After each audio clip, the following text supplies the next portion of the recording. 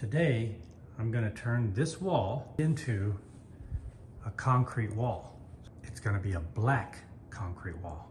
That's what Steph wants. Everywhere you see the tape, everything inside of that area is gonna be a black concrete wall. I'm gonna take one of those sanding blocks and I'm just gonna rub this gently just to, you know, rough it up a little bit. I'm gonna put in the liquid color.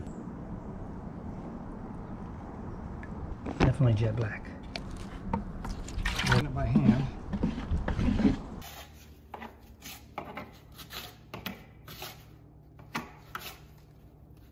This is just a scratch coat. I like the color. It's gonna be pretty. Jet black for sure. Once I get the edges done, like all these weird corners Yeah. in the center, will be fast. And this is a coat that's gonna help give it a bite. Cool.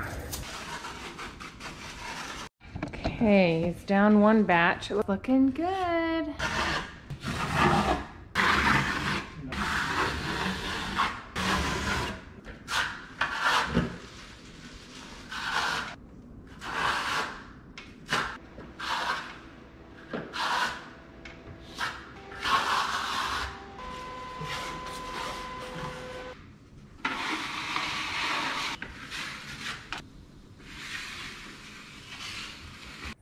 Okay, it is done.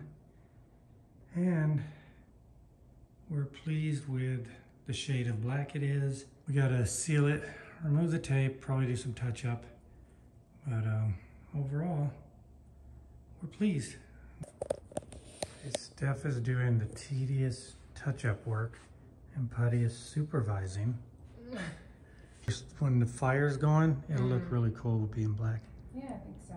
Thanks for doing all that tedious stuff. I would, I like that. I would die. You enjoy the tedious? Yeah. I do. I'm glad because I hate it. I'm still baffled how Putty got to have that that bed. Yes, she likes to look She out. can hear and then go outside if something exciting happens. Yeah, yeah, nice, expensive dog bed. All right, well, there's our fireplace. When we get a fire going, well, you guys will be able to see that too. It's gonna be months. I know. Maybe not even this year. We don't know.